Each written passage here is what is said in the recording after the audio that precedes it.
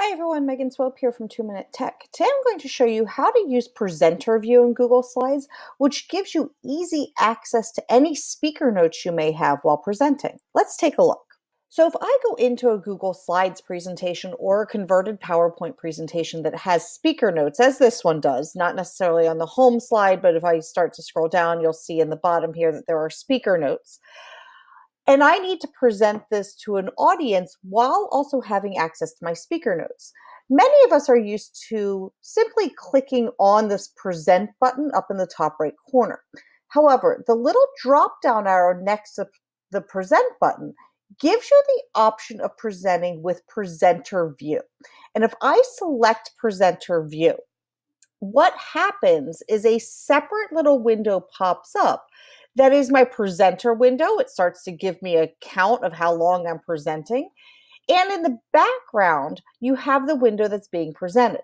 This is ideally used if you have multiple screens or you can extend your screen.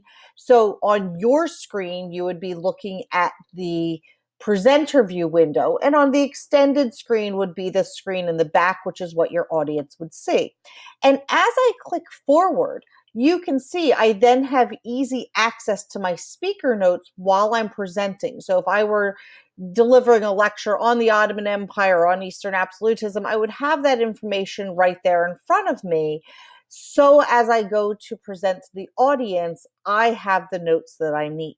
So this is a really great tool. It's a really simple one to use, but as you can see, it's a slightly hidden feature of slides because you have to make sure you're clicking the little drop down arrow next to present.